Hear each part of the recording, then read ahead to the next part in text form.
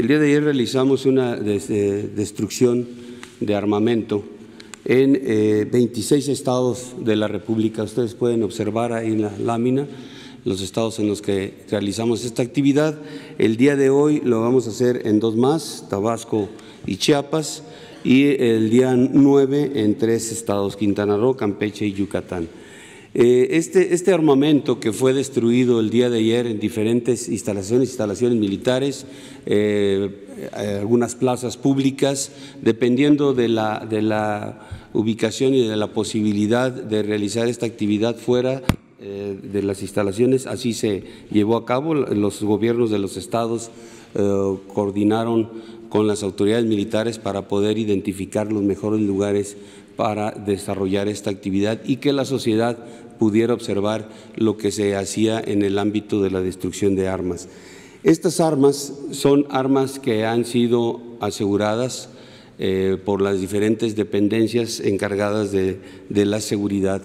Eh, de conformidad al artículo 40 del Código Penal Federal y el artículo 88 de la Ley Federal de Armas de Fuego y Explosivos, y en coordinación con la Fiscalía General de la República y los ministerios públicos federales en todas las entidades, esas eh, armas eh, quedan decomisadas a favor de la Secretaría de la Defensa Nacional para dos, en dos ámbitos. Pueden ser eh, destruidas, como en este caso, o para la utilización lícita.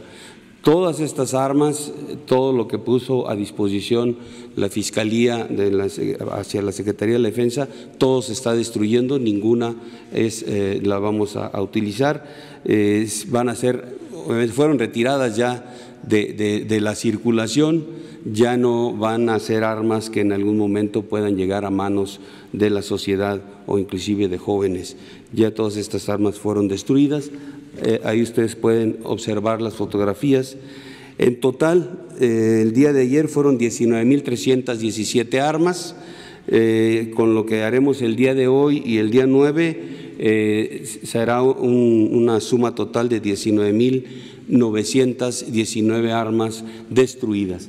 Estas armas durante el procedimiento de destrucción lo que se busca es que ninguna de las piezas que integran el arma pueda ser utilizada en algún otro momento. Esta es una de las ceremonias que se realizaron para poder desarrollar la destrucción de armas.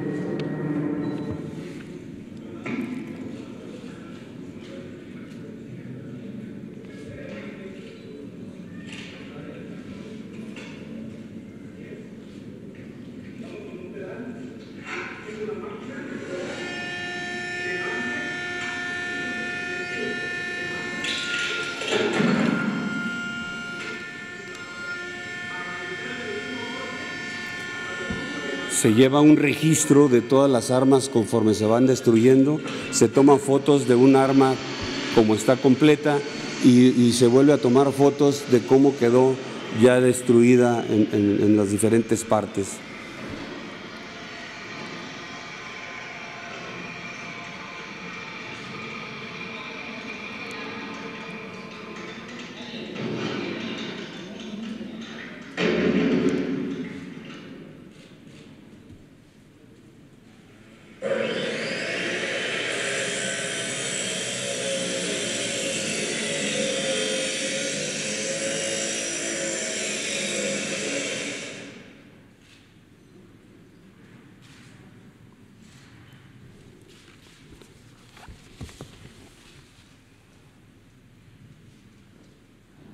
Estas armas son de diferentes calibres, calibres de uso exclusivo de Fuerzas Armadas, calibres de los que son permitidos de acuerdo a la ley, pero todas son aseguradas eh, que estuvieron en su momento afectas a una causa eh, penal.